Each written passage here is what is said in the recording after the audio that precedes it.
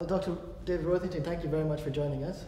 Um, I'd like to start, if, if you can, if you could just introduce yourself, kind of tell us a little bit about the work that you do.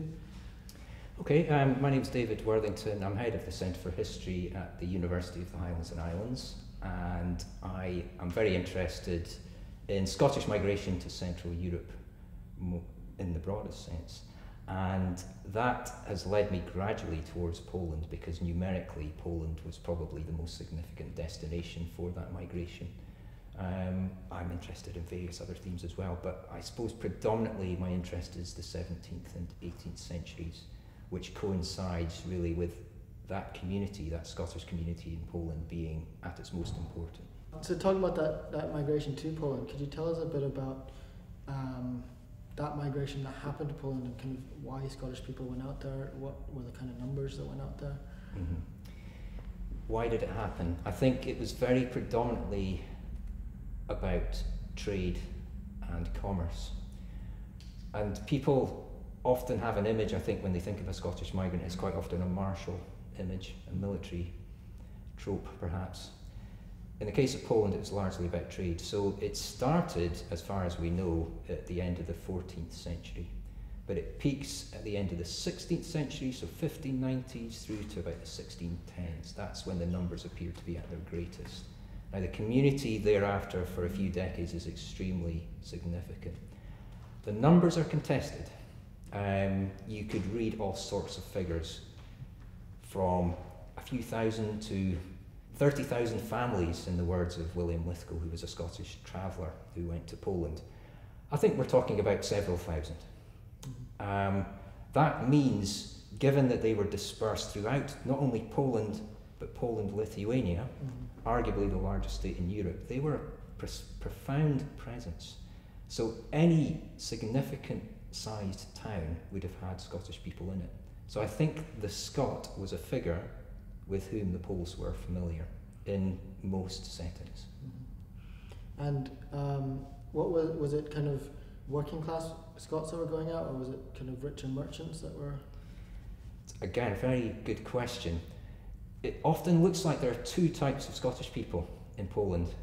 There's the rich merchant who's doing very well. Let's uh, say, for example, in Gdańsk, in central Gdańsk or Danzig, very much part of a multicultural, multilingual community in that city, um, probably with a good art collection, um, interest in cultural patronage, music, and so on. That's one type. We also have a very different type of Scottish traveller in Poland, and I say travel because they were a very itinerant population. And the word Scot or shot in Polish and in German, in fact, starts to take on a different meaning.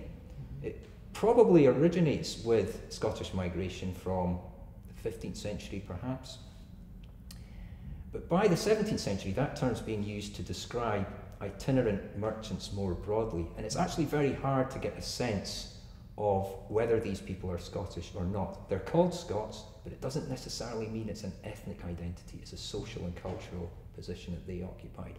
So they're two different figures. And as you can imagine, the rich merchants are sometimes quite keen to distinguish themselves mm-hmm. from these impoverished, rather unpopular, extremely hardy um, Scottish merchants who are at the bottom of the pile in the mm-hmm. socio-economic sense. Okay. And going on from that, where, what was the kind of reception in Poland, Lithuania to Scots coming over? Uh, varied, I think you would have to say. Um, there are quite a lot of accounts from popular culture of this. Um, one source is poetry, particularly Baroque poetry in Poland from the later 16th century. So when Poland starts to experience the Catholic Reformation very powerfully, um, ethnic Poles and others there start to write about some of these ethnic groups. Now, in terms of the Scots, it's generally quite a pejorative, negative depiction. Um, Poles um, perceive the Scots as keen to make money, mm-hmm. uh, as keen to play the role of, of the middle class in Poland, and yeah, there's quite a lot of pejorative stuff there. However, that's not the whole story. Um, I think, given just how multi ethnic Poland was, Poland was extremely diverse at that time. Poland Lithuania was extremely diverse at that time. The Scots were one of many ethnicities. They were not alone. It was not an homogenous Roman Catholic country. There were people from all sorts of backgrounds, so it wasn't unusual for, to have these minorities. And I think they actually coped quite well. We do have sporadic outbreaks of anti Scottish comments, for instance. There's a kind of tumult in Toruń in the early 18th century, but on the whole, they did okay. There's not a lot of violence against them, there's not a lot of particularly significant problems, and we could debate about what is the appropriate term here, but the Scots integrate, assimilate, they become part of that society. Unfortunately, one of the things we don't know as well as we might is how that would have turned out in the 19th century, because Poland Lithuania is partitioned out of existence mm-hmm. between 1772 and 1795. So, a lot of the evidence from that time and a lot of the fabric of that society was really ripped apart by those three partitions. True. And was was the population that went out there was it one that was going to settle in Poland, or was it one that was kind of, you know, part time, like go out there and make a bit of money and then come back to Scotland kind yeah. of idea? Well, that's a really interesting question. Again, I mean, there are lots of examples of return migration, mm-hmm. reinvestment, repatriation is a problematic term, but reinvestment of money, of wealth in Scotland, that does happen. There are bursaries at universities. Robert Gordon's Hospital in Aberdeen that becomes Robert Gordon University, that's founded by a Scot called Robert Gordon, surprisingly enough, who um, was a merchant who made his money in Danzig, Gdansk. So there's a lot of people who were going back and forth. There are some interesting merchants' accounts precisely of this. On the other hand, there were others who were keen to settle because they identified a gap in Polish society. Mm. Poland had a large nobility, the Szlachta. They considered trade beneath them. So, for somebody who was prepared to engage in that, there were opportunities.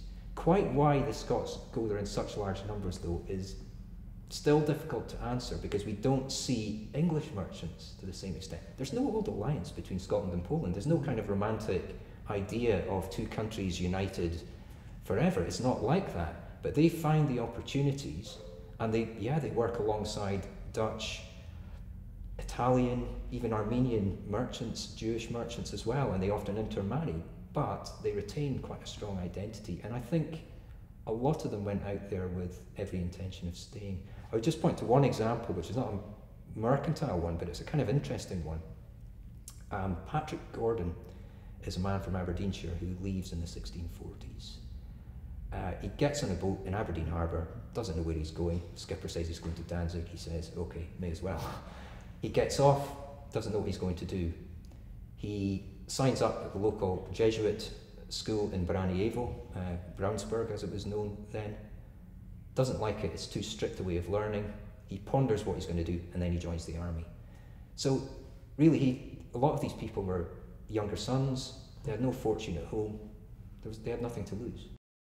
And another route into it was that military one. So, sometimes Scots who'd served in armies, not only the Polish army, settled in Poland. So, you have examples of Scots who'd served even in the Swedish army against Poland in the 1650s who then settle in Poland. So, yeah, there are very many routes into this and very many different types of migrants. Um, another one who was probably quite transient was the intellectual migrant.